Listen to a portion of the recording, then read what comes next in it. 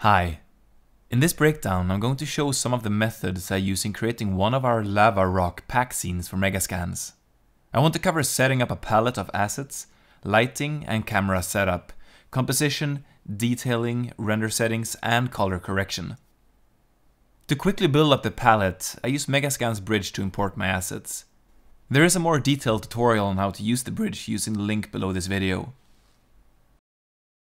After importing the assets I want to use, I save this palette file separately from the main scene.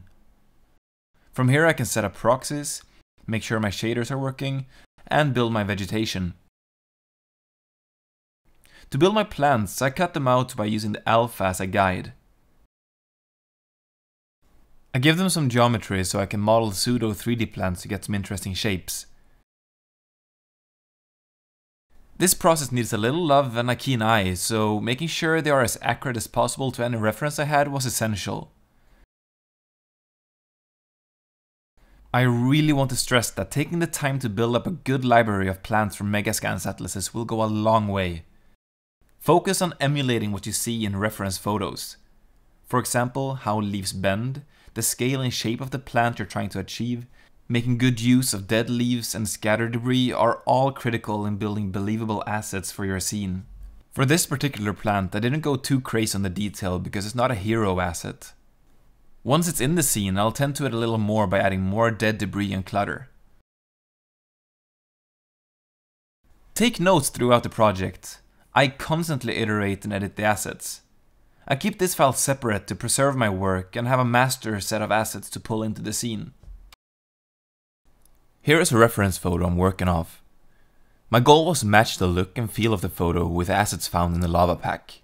For this project I used 3D Studio Max 2017 along with Redshift and a sprinkle of iToo's Forest Pack. Let's start with some basic lighting. There are a few ways to light a scene. For simplicity, I use a basic Redshift sun system with a Redshift physical sky. Since it is physically based, it's a great way to make sure the shaders are working out of the box. Note this is the same lighting setup by using the palette file. A really good rule to follow when a photorealistic look is your goal is to leave the physical sun settings alone and just adjust the height of the sun for what time of day you want to achieve. I highly recommend never to increase or decrease the intensity because this will start to break the reality the sun system and physical camera provide. We will touch on how to get a scene brighter or darker later, but keep in mind we are digital photographers and we should think of making a scene brighter or darker in terms of exposure, not in terms of making the sun output more light.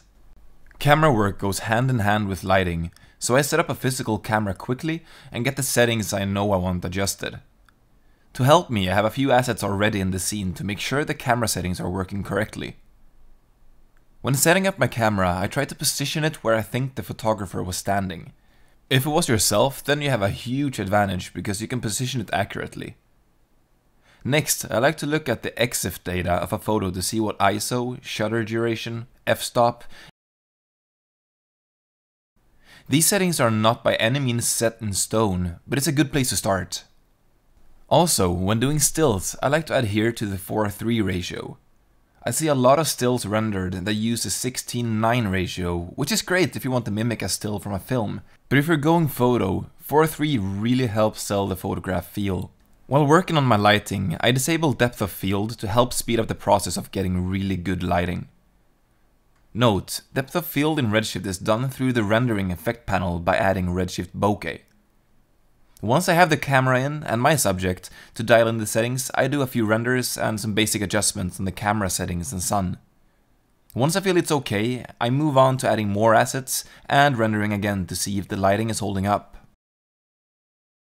Composition for realism can be tricky, but since we have a good reference photo, we have the blueprints to get us where we need to go. Just like a painter starts with big washes and block in colors, we will start by adding the largest elements of the scene, which in this case are the rocks. I start by finding which rocks best match the photo and roughly lay them out. I try to lock in my focal point early in the process and building out the environment from there. This is a very important step, so taking the time necessary to make sure the shot is feeling correct is key. Don't get bogged down with small details, only concern yourself with the largest elements. For instance, I knew there was gonna be a lot of vegetation, so I didn't get too locked up in trying to make every rock fit perfectly. Another key element in making photoreal renders is to remember the rule of thirds, but try to break it. Renders that look real have a certain amount of chaos in them. If you look at a set of photos taken from an area, not many follow the famous composition rule. They almost break it at every turn. I keep this in mind while I set up my camera and my assets. Now comes the fun part, vegetation. The shot will really start coming to life quickly. At this point, I grab the vegetation from my palette file. The succulents are a major feature in this pack, so building a few modular pieces of the vines was essential to filling up areas quickly. Along with Redshift SSS shader and some tinkering with the settings, I was able to match the photo with a relative ease.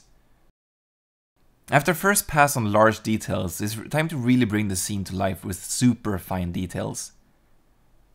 Again, I want to focus on the succulents. We 2D scan the dead vines and dead succulent spears, which give a wonderful white and grey contrast to the lush greens and popping pinks of the succulents. I make the card cutouts and use the displacement maps to add some live displacement to give a little depth and shape to the cards. I then take these cards and build up dead areas under all the succulents I have placed. Again, looking at my ref constantly for how they lay, where they are, why they grow and die the way they do. After this step, I copy out all the dead cards, collapse them, and make them unrenderable. I then use this piece of geo to drive scatter systems using Forest Pack. I scatter smaller bits of dead succulent spears, leaves, small sticks, anything I can observe I throw in the scatter system. What this step achieves is breaking up the surface of the cards even more to push the chaos and clutter of the undergrowth.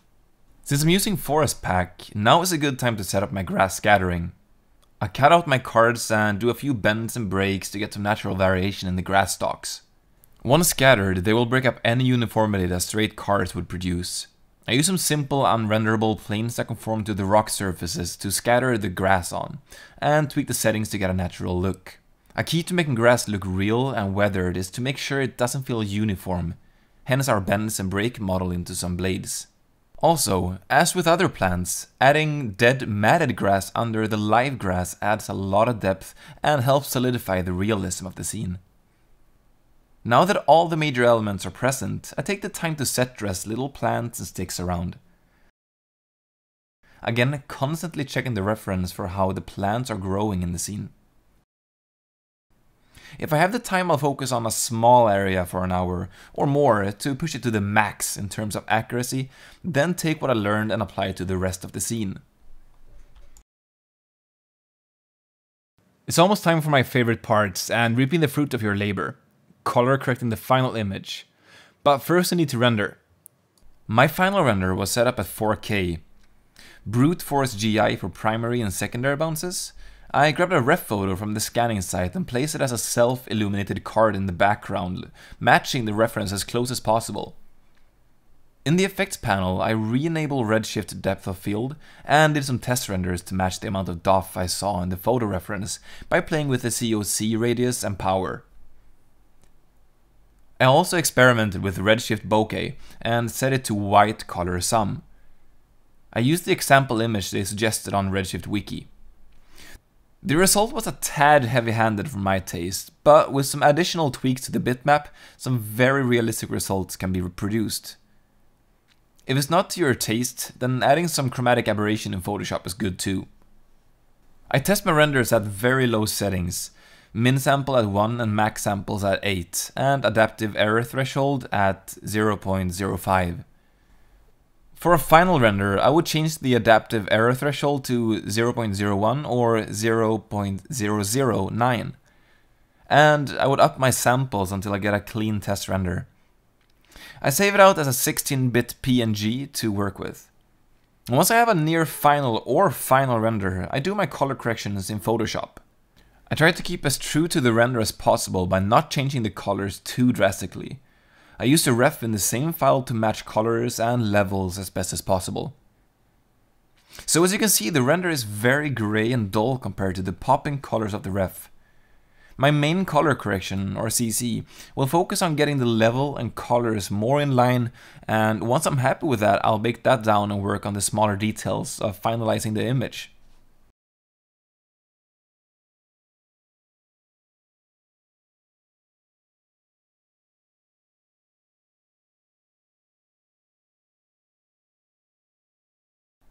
Then I tweak the shadow color by using a selective color layer and, and in this case I push the shadows more blue and take down the yellows a bit. Again, only applying this layer very subtly at a fill of around 15%. I also make sure this color adjustment does not apply to the succulents, since they need to stay in the warm yellow range and not a cool green range of color. Next, I tweak the yellows with a selective color layer, and this helps the oranges pop more by replacing some of the yellows with magenta. After I'm happy with the general colors, I tweak the brightness and contrast as well as the levels to get some nice depth in the image, using the reference as a guide. After this, I apply a vibrance adjustment layer to bring out some more of the colors. The stage of basic color correction is done now, and I bake down those layers and work on some final tweaks. The purpose of the last few tweaks is to get the color of the succulents correct as well as their levels. Also increasing the brightness in the middle of the image to draw the eye in, in a bit more. A few tweaks to the background vibrance and the blues of the grass and I'm very happy with the result. With keys to producing this image was having a good reference. Keeping the lighting simple and using the assets to their full potential by taking the ecosystem approach. I hope this tutorial was helpful. Good luck with your own projects and let us know how they turn out. Thank you for watching.